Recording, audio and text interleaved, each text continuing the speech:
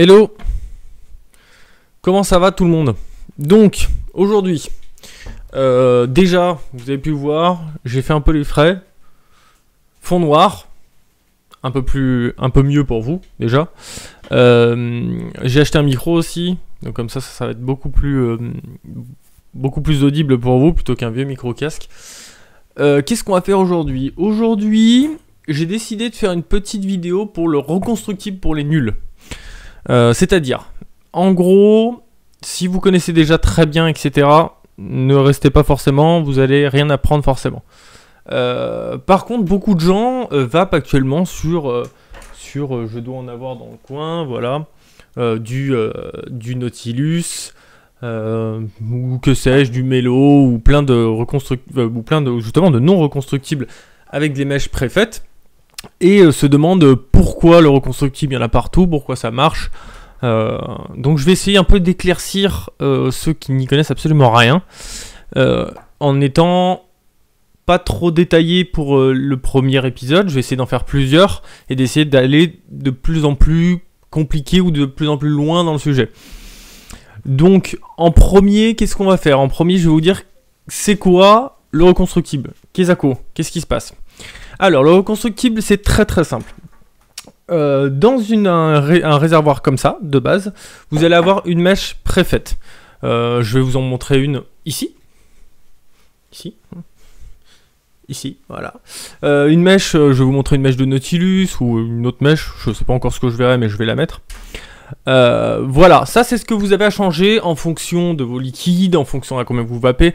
Environ entre 10 jours, 15 jours, vous allez avoir à changer cette mèche c'est du plug and play, donc c'est-à-dire qu'on va devoir juste la dévisser, l'acheter, en prendre une nouvelle et la revisser. Euh, concrètement, pour connaître le reconstructible, il faut savoir qu'est-ce qu'il y a à l'intérieur de vos mèches.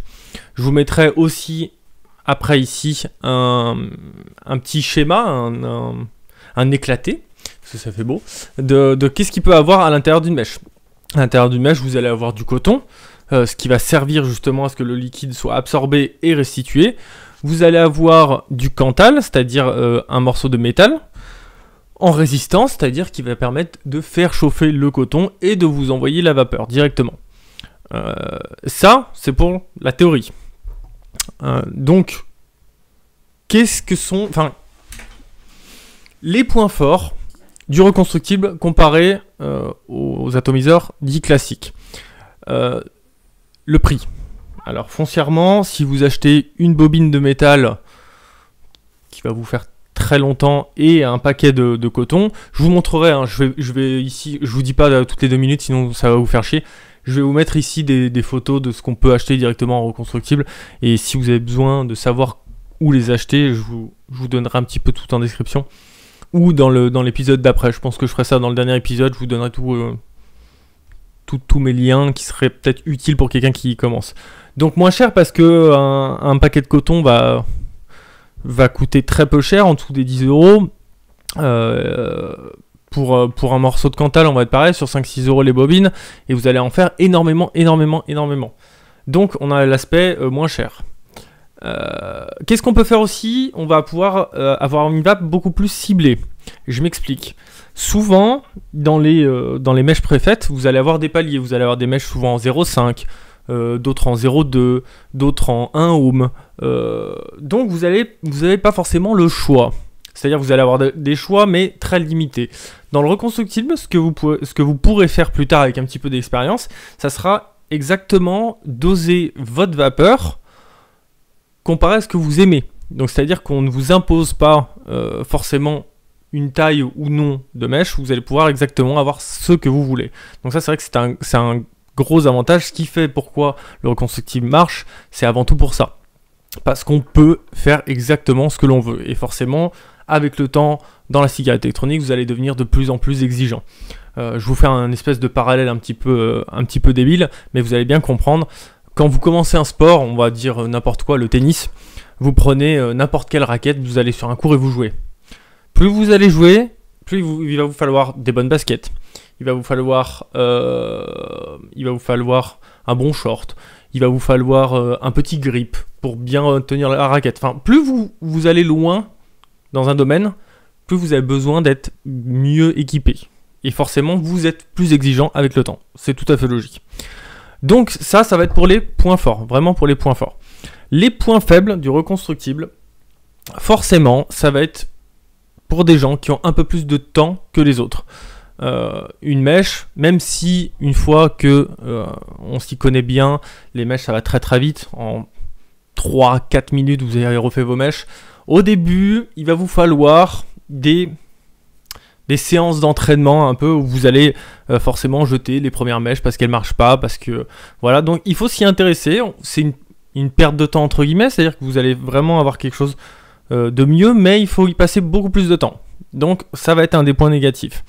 Le deuxième point négatif que je peux voir, ça va être euh, le fait d'être manuel. Ça peut être, euh, euh, ça peut être débile à dire comme ça, mais c'est vrai que si vous êtes vraiment pas manuel, que, que, vous êtes plutôt un cérébral et que, vous n'arrivez pas à être assez minutieux sur des petites choses, etc., ça va être un peu compliqué pour se lancer dans le reconstructif. Pas impossible, mais ça va vous prendre plus de temps forcément qu'à d'autres personnes. Euh, concernant ce point faible, je vous ai préparé juste ça. Ça veut dire qu'il existe les petites mèches qu'on refait à l'intérieur, que je vous expliquerai plus tard.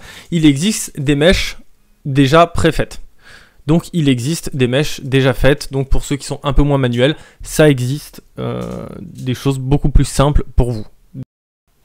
Donc voilà pour cette première partie. Euh, j'espère que déjà j'ai un petit peu dégrossi le problème. Dans la deuxième partie, je vais vous montrer exactement comment on refait une mèche, quelles sont les règles de base à savoir, euh, pour que justement vous puissiez un petit peu plus euh, voir si c'est possible ou pas pour vous de le faire, si c'est adapté pour vous ou pas du tout. Donc dans la prochaine vidéo, on va justement essayer d'un peu, d'un peu plus rentrer dans le vif du sujet.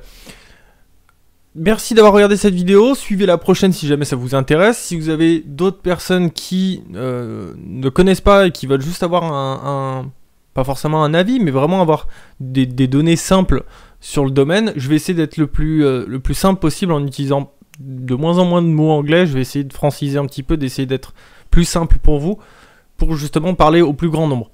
Donc merci à vous d'avoir suivi la vidéo. On se dit à la prochaine. Et si jamais vous regardez cette vidéo, euh, nous sommes le lundi 10 euh, et le 11, je serai en live à 21h sur cette chaîne avec euh, d'autres personnes. Donc je vous laisserai voir directement si vous êtes dans le coin, passez sur ma chaîne demain à 9h, donc le mardi 11. Et vous verrez, je pense qu'on va bien se marrer.